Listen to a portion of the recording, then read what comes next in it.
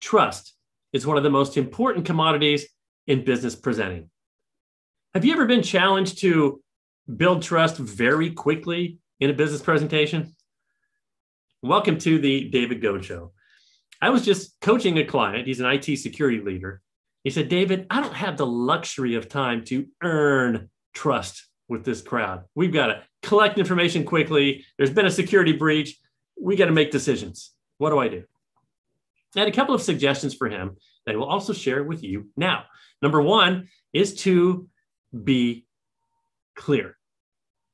That's right. Simplify if you have to, but be very clear about here's what we know, here's what we don't know, and here's what I believe we need to learn or do next.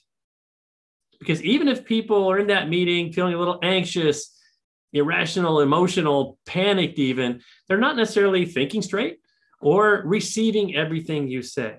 So being very clear, even to the point of being repetitive, is helpful.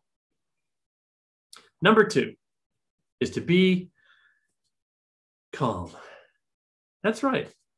When the conversation starts to escalate, again, fear is taking over, you need to be the one who has a calm demeanor. Calm is contagious.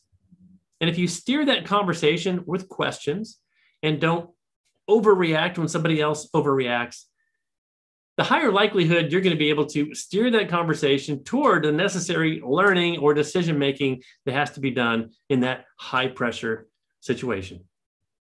Those are the two tips to start with is to be clear, be calm, and steer that conversation towards a productive outcome as quickly as possible. If you have a question about public speaking, whether it's virtual or on stage, just post it in the comments below. I'd be happy to do a, a show just for you. Thanks for watching.